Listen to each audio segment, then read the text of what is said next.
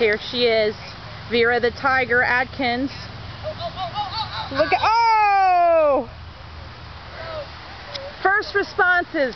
Oh! Oh! Oh! That was me.